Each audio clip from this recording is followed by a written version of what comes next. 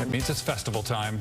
One particular festival, actually. Oh, yeah. Fun kicks off right here in North Texas today, one of the country's most authentic Oktoberfest celebrations. Oh, this is huge. Hannah joins us from Addison Circle Park, the Addison Oktoberfest. Hey, Hannah.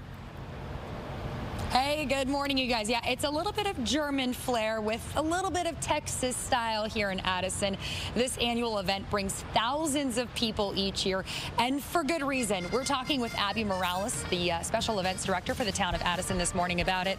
I know we have all of the, the foods and drinks that people know and love and associate with Oktoberfest, but there's some other pretty special, exciting things new for this year as well. What are those? Yeah, so we've added a green space, and silent disco is going to be featured there, as well as a retro arcade. We've added a root beer garden to our kids area for a lot of family fun. And then probably one of the biggest additions this year is Sunday Hyundai, where all dogs and their humans are free. In the past, it used to be that um, only the dachshunds that were racing were allowed into the festival. And so Sunday Hyundai is one of our biggest features this year as well.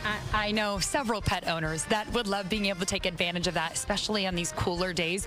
We did get pretty lucky with it being a bit cooler this year. The event officially kicks off in a few hours. But I want to rewind the tape and show what it's looked like in past years because it really comes alive during the day, at night. I mean, what's it like to be in that atmosphere? Yeah, so we are excited to kind of celebrate all things German. There's music, there's food, there's of course beer on the grounds. And so it's just a true celebration. We stay off as authentic to Munich's Oktoberfest as we possibly can, but we do add a little Texas twist to that. And so you'll see that on the grounds as well. And on some of the days, you don't even have to pay to get in, right? That's correct. So Thursday and Sunday, there is no admission. It's free. Friday and Saturday, admission is $10. And do people need to get that in advance, or how does that work? You, you should purchase in advance to avoid all the lines, but you don't have to. There are ticket kiosks on site that you'll be able to purchase as well. Okay, so if someone is watching this and they are a total Oktoberfest newbie first-timer, what's what are some tips that they should know to, to make the most of their experience? They should come out and expect to have a good time. There is the very authentic piece. You'll see with the foods that are here on the table.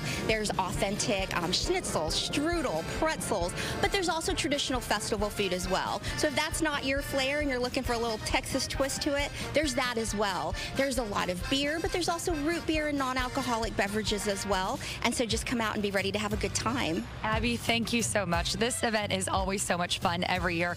We're going to have ticketing information, by the way, on our website at fox4news.com. But Brandon and Lauren, before we go, Randy is going to play us out. Back to you guys. Way to go, Randy. Randy is jamming. He's got the yodeling down, Yeah, too. boy, that's some good yodeling there. Mm.